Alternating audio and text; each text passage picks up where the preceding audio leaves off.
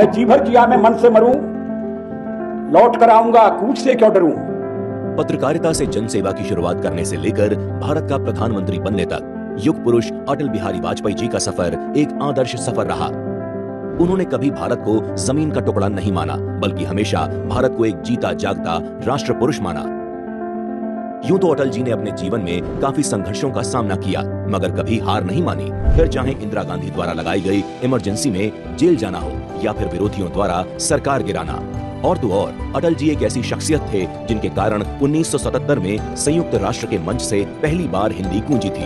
अपने इस ऐतिहासिक भाषण से जहाँ अटल जी ने पूरे विश्व को वसुधैव कुटुम्बकम का मंत्र दिया तो वहीं उनका भाषण सुनकर दुनिया भर के नेताओं ने खड़े होकर तालियाँ बजाते हुए अभिनंदन किया।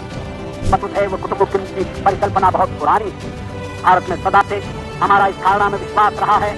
सारा संसार एक परिवार है। जिस तरह आज भारत अंतरिक्ष के क्षेत्र में महाशक्ति बनने की ओर अग्रसर है ठीक उसी तरह अटल जी ने परमाणु शक्ति के क्षेत्र में भारत को आत्मनिर्भर बनाने की दिशा में पोखरण टू की घोषणा करते हुए पूरे विश्व को चौंका दिया था। अभिनंदन होना चाहिए वैज्ञानिकों का उन इंजीनियरों का। जिन्होंने पोखरण में जो कुछ हुआ, उसे सफलतापूर्वक करके दिखाया है। वहीं अटल जी के नेतृत्व में साल 1999 में भारतीय जांबाजों ने कारगिल युद्ध में पाकिस्तान को हार की धूल चटाते हुए माँ भारती का सीना गर्व से चौड़ा कर दिया था।